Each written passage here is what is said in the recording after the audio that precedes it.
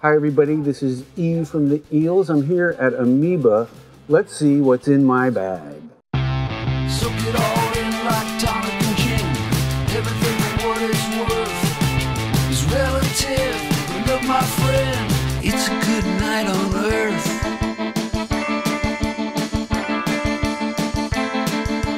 I found some amazing stuff.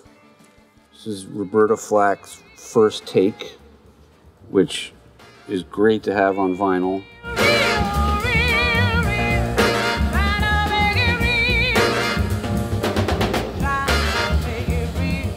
I was not familiar with this album. Everybody's heard um, there's a big hit on it the, the first time ever I saw your face.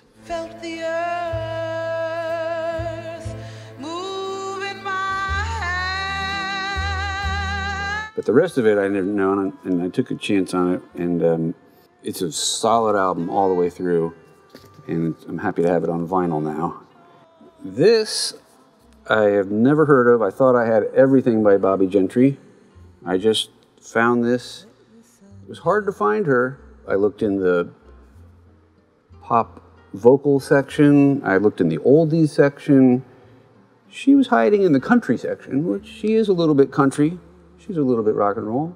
She's a little bit everything. She's the consummate great artist. And this says it's her lost 1969 jazz album, which I've never heard of. I really thought I knew everything about her and I had everything by her. So I hope this is good, but I'm excited about this. How long must they cry? Let the sun shine through. The beauty of coming to the record store. That's what, yeah, this wouldn't have happened. I didn't see this on eBay, although it's probably there. Ah, Bobby Womack calls his live album The Womack Live.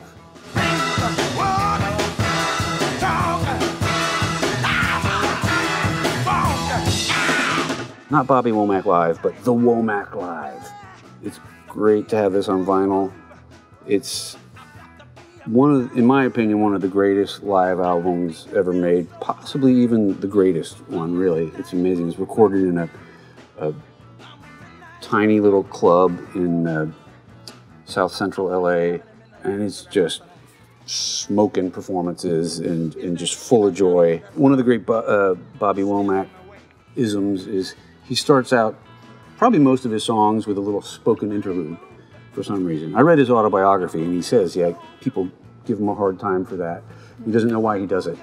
But, but uh, on the uh, first song, he comes out, they do an intro, and the first song comes out and they start playing the beginning of the song, and he, he can't help himself. He has to say, oh man, I love this song.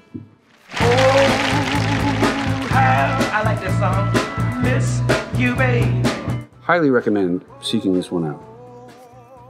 Okay, so I feel like an important part of my job as an established artist is to help expose lesser known artists to the world. So I've been talking a lot about this group, the Beatles, lately, and look at this behemoth. This is a behemoth box set. I've already opened it. Check out all the stuff in here. There's the regular album, There will be an answer, let it be. and they give you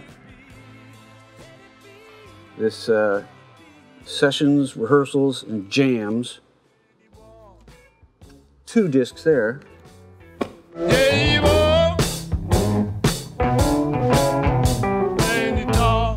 I don't even know what this is. A couple of different mixes. This book. Look at this. Crazy. Crazy, crazy book. Really big and extensive, it looks like. But here's the real reason why I wanted it. It comes with the original Glyn Johns version of the Get Back album that the Beatles all rejected to a man, and it has never come out for 50 years until now. Nothing's gonna change my world.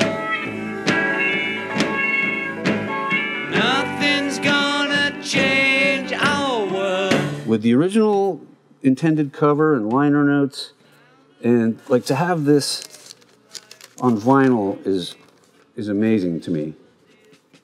And unfortunately, the only way you can get it is in this extremely expensive behemoth box set. But my advice is put out your own music for 20 or 30 years and just wait for Amoeba to invite you down to do one of these and get a free copy. Do you know why they rejected that version? Um, it's kind of raw compared to the Let It Be album that they put out, which is the opposite. It's they got Phil Spector to do that one, and, and you know Paul McCartney fami- famously hated that for being too sweetened with strings and choirs and stuff. Nothing's gonna change my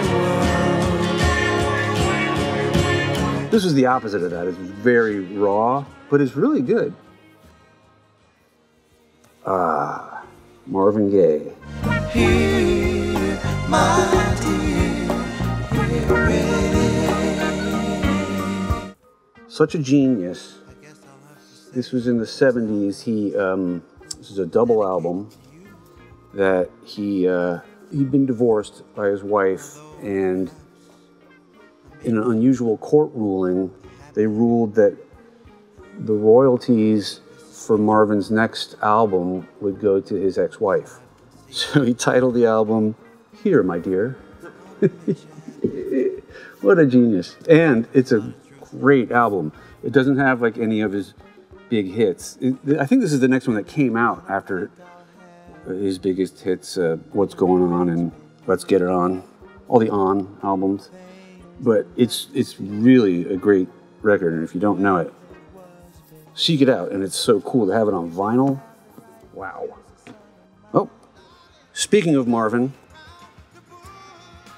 Marvin Gaye live.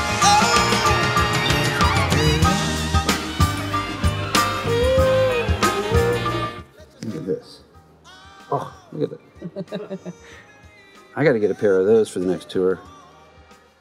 This is um, quite extraordinary. It's a really fantastic live album all the way through. But what's extraordinary to me is this was at the peak of his uh, commercial success, right after um, What's Going On and Let's Get It On, I think. And he didn't want to tour. You know, he he had his moods. He just wasn't in the mood to tour. And he rehearsed for weeks, all just to do. His whole tour was one show in Oakland. That's what this is. And he didn't even show up to the last rehearsal, and they didn't know if he was going to be there. And it's just amazing to me. It sounds like this was recorded like on the 50th night of a huge world tour where everyone really was locked in and knew what they were doing, but it was just one performance, and that's all he did for a couple years. And but it's really musically solid. Thank you, Marvin. I'm very happy to find this one on vinyl. This is a, a Little Richard album that's I don't think it's very well known because it's not from his more famous era. I, I love to like seek out records by artists not in their prime. Like I love like 70s Elvis records and 70s Ray Charles records. I find there's a lot of charm and a lot of merit to a lot of it really, but it's not what people think of normally when they think of Elvis or Ray Charles. And and this is a great example of that. It's the early 70s, like 71, 72, and uh, Little Richard, he does a version of uh, the Rolling Stones' Brown Sugar that's fantastic on there. And it's, it's really unique, but it's really rocking. I'm brown sugar, just like a black girl should. Woo! Check it out sometime.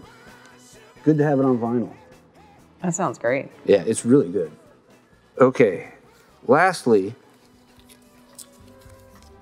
Astrud Gilberto. Look at that album cover. when I haven't got